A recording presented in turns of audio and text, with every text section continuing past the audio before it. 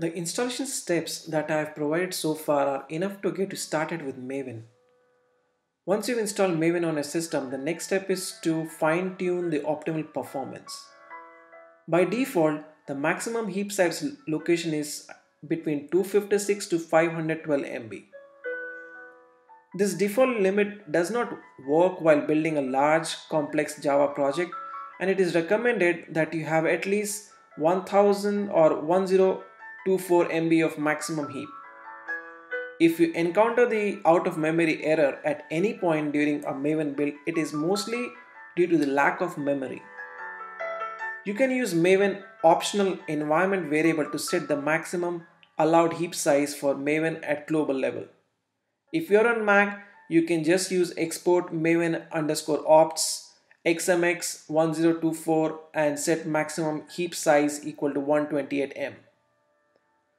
If you're on Windows, use the following command set maven opts equal to 1024m and max perm size equals 128m.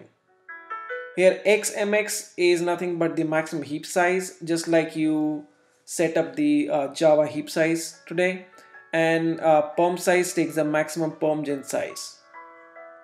Maven runs as a Java process on JVM. As Java proceeds with a build, it keeps on creating Java objects.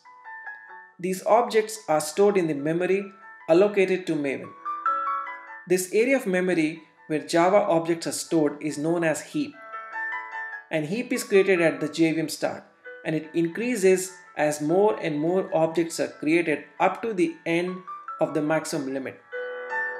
And XMX the JVM argument, it is used to instruct JVM that the minimum value that it should set at the time it creates a heap. And XMX, that's the maximum JVM tag, sets the maximum heap size.